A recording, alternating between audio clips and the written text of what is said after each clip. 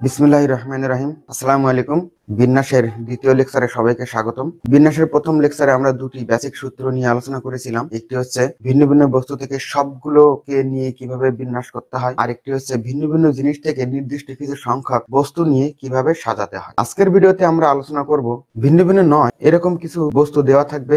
তাদেরকে আমরা কীভাবে বিন্যাস করব সেই বিষয়টা আমরা এখন দেখব। এখানে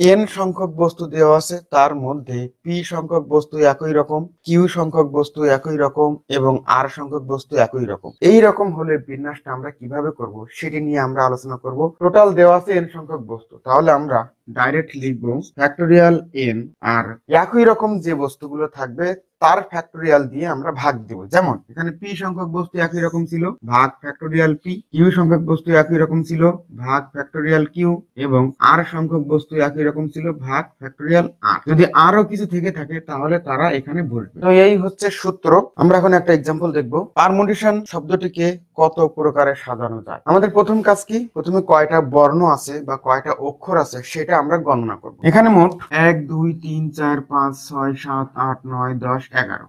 মোট এগারোটি বর্ণ আছে। তার মধ্যে টি আছে দুই। অতএব বিন্যাস সংখ্যা বা সাজানো সংখ্যা। তাহলে টোটাল ছিল ফ্যাক্টরিয়াল এগারো। ভাগ করতে হবে একই রকম যেগুলো। দেখেন, এখানে শুধু টি আছে দুইটা, এজন্য ফ্যাক্টরিয়াল টু দ্বারা ভাগ, যেটা হবে সমাধান করলে সেটাই হবে হচ্ছে আমাদের অ্যান্সার আমরা আরেকটি এক্সাম্পল দেখব। এবার আমরা দেখব ম্যাথমেটিক্স শব্দটিকে কত প্রকারে সাজানো যায়। তো প্রথম কাজ হচ্ছে আমাকে দেখতে হবে যে এখানে কয়টা অক্ষর আছে। তো আমরা একটু দেখি।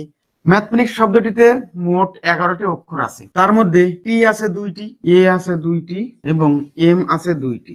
সুতরাং আমাদের বিন্যাস সংখ্যা উপরে হবে ফ্যাক্টরিয়াল এগারো, নিচে হবে দুইটা দুইটা, দুইটার ফ্যাক্টরিয়াল তার মানে factorial two into factorial two into factorial two সমাধান করলে যেটা আসে, সেটি হচ্ছে আমাদের অ্যান্সার আমি আর সমাধান করে দিলাম না। আপনারা ক্যালকুলেটর ফ্যাক্টরিয়াল চাপলে এগুলোর মান চলে আসবে। এখানে অনেকেই একটি ভুল করে থাকেন। যেমন দেখেন, এই ম্যাথমেটিক্স আর এই ম্যাথমেটিক্স লেখাটার মধ্যে পার্থক্য দেখেন। এখানে হচ্ছে প্রথমে ছিল স্মল লেটার আর এখানে প্রথমে ছিল ক্যাপিটাল লেটার তাহলে এই ক্যাপিটাল এম আর এই স্মল লেটার এম কিন্তু এক না। এই দুইটা চেহারা কি একই হবে? দেখেন তো আমরা যদি বড় এম লিখি, তাহলে এরকম হবে। আবার যদি এরকম লিখি, তাহলে এরকম হবে। মানে চেহারা কিন্তু দুই রকম। আর বিন্যাস মানে আমরা যত রকম করে সাজাতে পারি, যত রকম ভিন্ন ভিন্ন চেহারা আসবে সেগুলো হচ্ছে মূলত আমাদের বিন্যাসের সংখ্যা। সুতরাং এইটা যদি আমরা সমাধান করি, বড় হাতের বা ক্যাপিটাল লেটার যদি, ক্যাপিটাল লেটারের এম দিয়ে যদি ম্যাথমেটিক্সটা শুরু হয়, তার ক্ষেত্রে বিন্যাস সংখ্যা হবে হচ্ছে কত? ফ্যাক্টোরিয়াল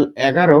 আর নিচে কিন্তু এই এম এর পরিবর্তে এম কিন্তু দুইটা থাকবে না, কারণ কি এখানে দুইটা এম দুই রকম। এই জন্য শুধু এ এর জন্য দুইটা আর টি এর জন্য দুইটা দ্বারা ভাগ হবে, আর কোনোটা কিন্তু হবে না। এটা একটু ভালোভাবে খেয়াল রাখবেন। অনেকেই যখন ক্যাপিটাল লেটারের যদি কোনোটা থাকে এবং সেটা দেখবেন ভেতরটার সঙ্গে কখনোই মিল করবেন না, আলাদা রাখবেন। তো এই দুইটার পার্থক্য আমি বুঝাইতে পেরেছি। যদি সবগুলি স্মল লেটার থাকে, তাহলে সচরাচর রুলস আর যদি একটা ক্যাপিটাল একটা স্মল লেটারের থাকে, তাহলে ওই দুইটা কিন্তু ভিন্ন ভিন্ন অক্ষর হিসেবে গণনা করা হবে। আশা করি সবাই বুঝতে পেরেছেন।